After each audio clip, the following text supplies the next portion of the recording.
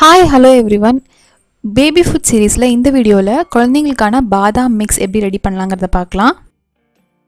இந்த பாதாம் மிக்ஸ் நீங்கள் குழந்தைங்களுக்கு பாலில் கலந்து கொடுக்கலாம். அப்புறம் சப்பாத்தி பேன் கேக் இதெல்லாம் செய்யும்போது இது ஒரு ரெண்டு டீஸ்பூன் சேர்த்து செஞ்சிங்கன்னா டேஸ்ட் ரொம்ப நல்லாயிருக்கும்.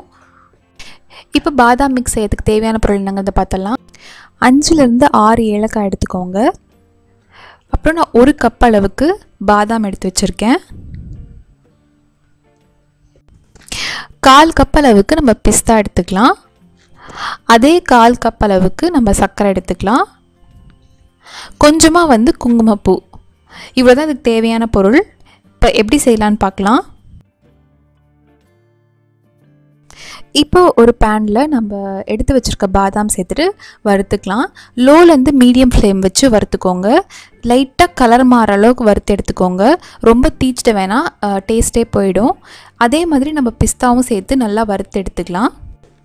இதே மாதிரி ட்ரை ஃப்ரூட்ஸ் மிக்ஸ் நான் ஆல்ரெடி ஒரு வீடியோ அப்லோட் பண்ணியிருக்கேன் அது வேணும்னு நினச்சிங்கன்னா இங்கே மேலே ஐ எழுதி பாருங்கள் இல்லைனா கீழே டிஸ்கிரிப்ஷனில் செக் பண்ணி பாருங்கள் இப்போ நம்ம எடுத்து வச்சுருக்க ஏலக்காவும் அந்த பாதாமோடு சேர்த்துக்கலாம்.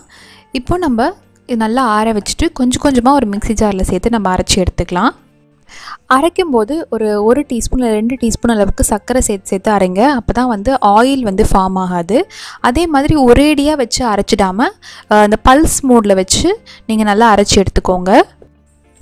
கொஞ்சமாக வந்து நம்ம குங்குமப்பூ வந்து அந்த மிக்ஸி ஜாரில் சேர்த்துக்கலாம்.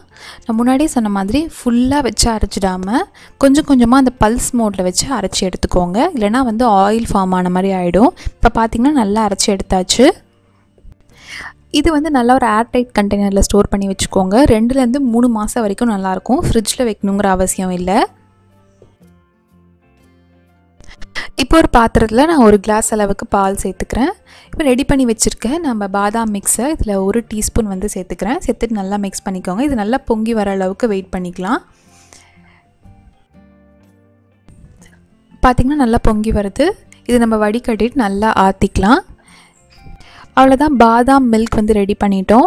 இதே மாதிரி நீங்கள் சப்பாத்தி செய்யும்போது ஒரு டீஸ்பூன் சேர்த்துக்கோங்க. நான் முன்னாடியே சொன்ன மாதிரி பேன் கேக் வந்து சேர்த்துட்டிங்கன்னா ரொம்ப டேஸ்ட் நல்லாயிருக்கும் இந்த வீடியோ உங்களுக்கு பிடிச்சிருந்தா லைக் பண்ணுங்கள் உங்கள் ஃப்ரெண்ட்ஸ்க்கும் ஷேர் பண்ணுங்கள் இது வரைக்கும் என்னோடய சேனல் நீங்கள் சப்ஸ்கிரைப் பண்ணலன்னா சப்ஸ்கிரைப் பண்ணிவிட்டு கூடவே பெல் பட்டனையும் கிளிக் பண்ணிவிடுங்க அப்போ தான் போடுற வீடியோஸ்லாம் உங்களுக்கு உடனே நோட்டிஃபிகேஷன் வரும்.